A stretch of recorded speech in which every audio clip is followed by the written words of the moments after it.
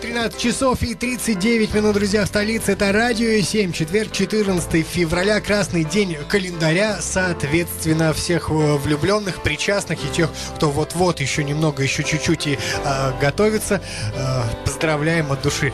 У нас в гостях Борис Коваль. Борис, здравствуйте еще раз. Здравствуйте. Да, я, кстати, правда, хочу поздравить всех влюбленных всех, кто уже любит, и всех, кто планирует полюбить, и кто, может быть, скоро уже полюбит, и кто-то уже, может быть, разлюбил. Но всех, кто понимает, что есть такое прекрасное чувство, всех хочу поздравить с праздником.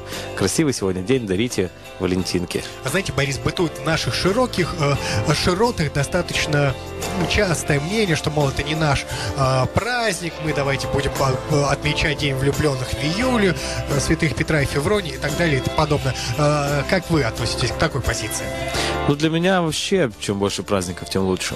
Да, э, и больше работы. больше... Нет, события... У нас должны происходить какие-то события, э, потому что э, приятного, наверное, все-таки мало в этом мире, да, ну, что касается там, у нас в политике куча проблем, там, там, там, там, сплошные проблемы, хоть праздники, радовать друг друга, повод, повод красивый, поэтому почему бы нет озвучиваю лишнего свое. Да, да, да. Ну, раз уж мы заговорили о любви, не могу не спросить, э, как вы познакомились с вашей любимой? Это был служебный роман. А. Да. Я... То есть это не всегда плохо? Иметь не служебный роман? Нет, нет. Я, я считаю, что любой роман это хорошо. Э, вот, тем более, что наш роман вот привез, привел нас э, к чему-то большему, чем просто. Ну, то есть мы уже давно живем вместе, мы планируем уже будущее. Э, то есть как познакомились, я говорил, она танцевала. Я был ведущим в одном из ночных клубов. Вот, она там танцевала, это была супер красотка у меня замедлялся кадр всегда, когда я видел, знаете, как в американских фильмах. Глаза-то у Бориса а, блестят. Засверкали. Давайте поиграем в ассоциации в таком случае. Неля, служебный да. роман, будущее, вдохновение. Э, дети. Не ожидал. Я думал, ну вот э, э, типичный ответ для артиста, сцена, а, альбомы, посвященные любимой женщине и так далее и подобное. Нет, я очень хочу детей. Я правда, я очень люблю детей и хочу, то есть у меня в планах э, два мальчика и потом девочка. Вот мне э, кажется очень славным то, что вы, Борис, связываете вдохновение и э, дети. Почему? Потому что, э, по большому счету, вдохновение это творчество. Дети являются, безусловно, тоже творческими а, личностями сами по себе, а воспитать их достойно, ну, это... Я, на самом деле, я считаю, что дети это, — это наше бессмертие. То есть э, в детях мы будем жить еще очень-очень много веков. Поэтому ну, вообще, то есть я, я часто очень размышляю о жизни, и я понимаю, что то, что сейчас мне приносит удовольствие, э, то, от чего я получаю удовольствие, мне вот к 70-80 годам, дай, дай, дай бог, чтобы я дожил до этого времени, я понимаю, что оно мне не будет приносить удовольствие. Я буду радоваться детям, внукам.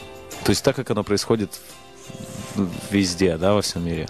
Вырастут два мальчика, вырастет девочка, подойдут к отцу и скажут, ну, пап, мол, так и так мы хотим заниматься народной музыкой. Ради бога. К примеру. Да, то есть, в принципе, Но... Ну, вы будете поощрять а, ваших детей а, заниматься, а, ну, не просто творчеством, потому что я считаю, что смысл жень, э, ж, э, жизни в том, чтобы заниматься творчеством любого человека, а в том, чтобы именно пойти на сцену. Ну, честно сказать, я, то есть, я детям предоставлю э, свободу выбора.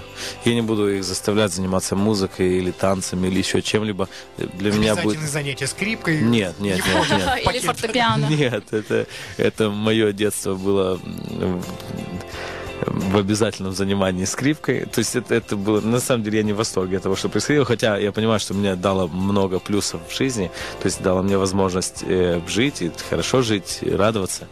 Вот. Но дети сами у меня выберут, чем они хотят заниматься. Я буду их заставлять заниматься уроками. Вот это для меня святое. Вот это да. Вот, да. Ну, знание основа всего, потому, ну, по-моему, очень правильная э, позиция. Да. Учиться, учиться и еще раз учиться, как говорится. Как завещал. Да, да, да. А планы на этот 2013 год. Некоторые говорят, что он будет простым, другие люди традиционно говорят, что он будет сложным. это бесконечные разговоры. Что для себя планирует э, добиться Борис Коваль? Ну, Как я, артист э, я, я- да, я надеюсь, что он для меня не будет простым. Я, я надеюсь, что он для меня будет э, максимально сложным. Эм, то есть я люблю трудности, люблю их преодолевать. Я понимаю, что сейчас у меня есть очередная ступень в моей жизни, которую я должен преодолеть. Это Евровидение. После Евровидения у меня, э, то есть э, планируется запись нескольких э, треков, которые у- ну, уже есть готовы, они ждут своего часа. Э, я я хочу путешествовать, опять же, для меня каждый год это святое. Я хочу по- посещать новые места. Э, Ну, то есть раскрывать всех, наверное, моментов я не буду. Э, То есть, но, но трудности должны быть у меня в этом году обязательно. Зона комфорта это не про вас. Э, Я считаю, что зона комф- комфорта это очень плохо. Да, то есть э, я прошлый год, позапрошлый год, э, вот два года, я понимаю, что я был в зоне комфорта, в которой, из которой мне очень сложно было выбраться. Э, и вот, наконец-то, я понял, что есть шанс. У меня есть шанс выбраться из этой зоны комфорта. Я сейчас делаю все, чтобы покинуть ее. И у вас получится. Я э, искренне этого желаю, потому что прекрасно вижу ваши планы и э, те силы, которые вы сейчас уже готовы потратить на их воплощение. Да, спасибо. А вы не считаете, Борис, то, что человек трудности сам себе иногда создает? Вот вы говорите всегда, я трудности хочу, люблю. А вот это абсолютно верно. Сам себе всегда все делает человек своими руками. То есть мы можем, я могу себе позволить э, на данный момент ничего не делать, читать какие-то книжки, смотреть телевизор э, и выходить на выходные, вот работать, зарабатывать каких-то денег, и, и все, мне будет достаточно для того, чтобы прожить. Честно вам говорю, мне будет достаточно для того, чтобы нормально жить. Но я не хочу так. Я, я готов э, голодать еще год или два для того, чтобы э, осуществить какие-то э, моменты, чтобы поменять что-то в жизни. То есть я, я любитель э, ощущений каких-то, ну, больше, наверное, не острых, больше э, приятных. То есть я, я, я не любитель ходить по острию ножа, так скажем.